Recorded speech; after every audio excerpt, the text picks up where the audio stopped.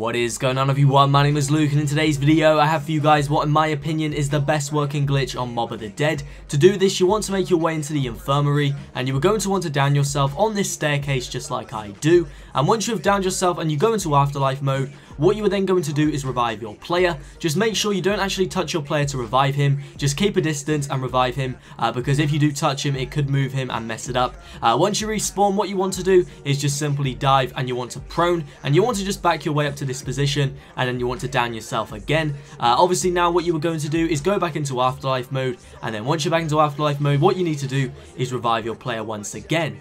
Now what you were going to need is a zombie uh, and what you wanted to do is preferably come from the location you will see the one that I have come from uh, and you just want it to come from that location uh, because it's pretty much easier to do. Uh, when the zombie is approaching you all you need to do is knife. You want to just pull backwards. What the zombie will do is stand on your head, he will move you forward and then what you can do is knife again and what it will do is put you inside this room and what you can then do is simply move out of the spot and you can move behind this bed just inside the cell and all of the zombies will pile up in front of you. It is a little bit tricky to do guys, it's not the easiest glitch in the world, but saying that Mob of the Dead is a very hard map for decent glitches. They all require tons and tons of steps and this for me is the best one on the map. I actually managed to do this in about 20 minutes. It took two attempts to actually get it, so I managed to do it pretty quickly. And of course, once you're in this glitch, you can just fly through the rounds. I got to round 27 in about 25 minutes. You can get all of your power-ups, which there was tons spawning for me. I was getting insta-kills, max ammos, nukes pretty much every single round. Um, you can get tons and tons of points. I got like 125,000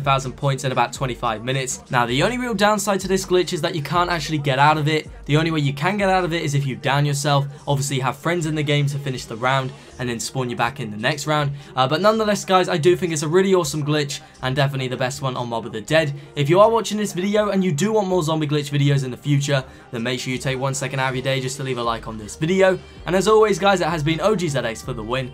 And until next time, guys, I am out. Peace. Waiting all my